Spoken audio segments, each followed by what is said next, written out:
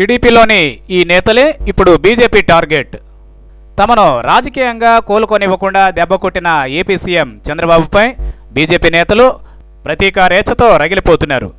ఎక్కడికక్కడ టీడీపీని బలహీనపరచడమే లక్ష్యంగా వ్యూహాలను సిద్ధం చేయాలని అధిష్టానం నుంచి స్పష్టమైన ఆదేశాలు రావడంతో ఈ వ్యూహాల్లో మునిగి తేలుతున్నారు.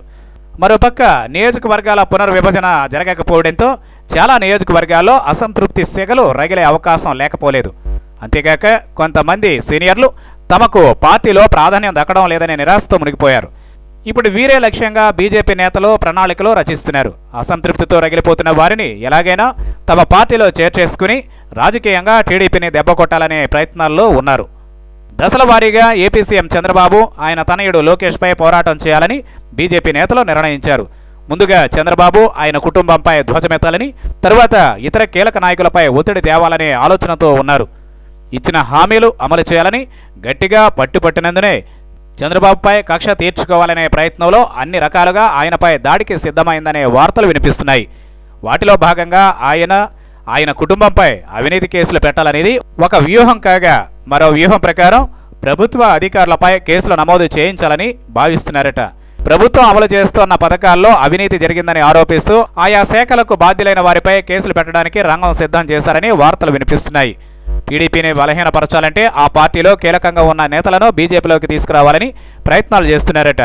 చంద్రబాబుపై అసంతృప్తితో ఉన్న సీనియర్ నేతలను మంత్రులను ఎమ్మెల్యేలను భారీ ఎత్తున పార్టీలో చేర్చుకోవాలనేది వారి ప్లాన్ అని సంబంధిత వర్గాలు చెబుతున్నాయి.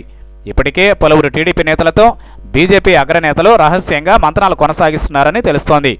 ఉత్తరాంధ్రకు చెందిన సీనియర్ నాయకుడిని పార్టీలోకి ఆహ్వానించాలని బీజేపీ భావిస్తోందట. అదేవిధంగా రాజధాని ప్రాంతంలో కీలకమైన జిల్లాకు చెందిన సీనియర్ నేతతోనూ సంప్రదింపులు జరపాలని భావిస్తున్నారట.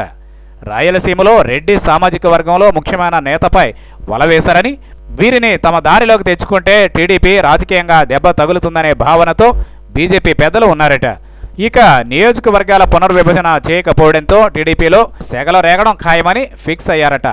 నియోజకవర్గాల పునర్విభజన టీడీపీకి రాజకీయంగా లబ్ధి చేకూరుస్తుందని భావించిన బీజేపీ పెద్దలు దీనిని మరుగున పడేశారు. ఈ నేపథ్యంలో టీడీపీలో ఉన్న వారందరికీ టికెట్లు రావు.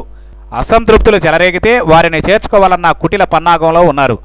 ఏప్రిల్ మేలో రాష్ట్ర రాజకీయాల్లో కీలక పరిణామాలు జరగబోతున్నాయని విశ్లేషకులు వివరిస్తున్నారు. మరి బీజేపీ వ్యూహాన్ని చంద్రబాబు ఎలా ఎదుర్కొంటారో చూడాలి.